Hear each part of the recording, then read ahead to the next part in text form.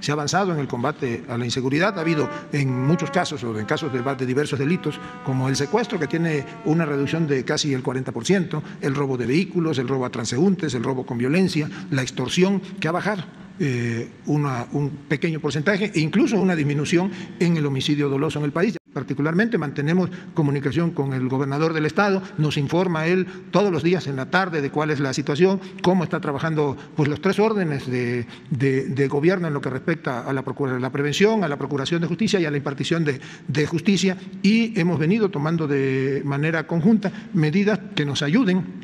a eh, combatir con mayor éxito a la, a la, incidencia delictiva y garantizar a los veracruzanos, como en todo el país, pues mejores índices de seguridad. ¿Se tiene, por ejemplo, una idea de por qué se ha desatado esta violencia de esta forma tan, pues, tan brutal en algunos casos? Sí, desde luego que hay no una idea, hay un diagnóstico puntual de qué es lo que está sucediendo en Veracruz y sucede como sucede en otras partes del país, que cuando se está combatiendo de manera este, frontal, pues eh, también se tocan intereses de la delincuencia organizada, de bandas delincuenciales, y este, pues forma parte de ello, nosotros creemos, los recientes episodios en Veracruz.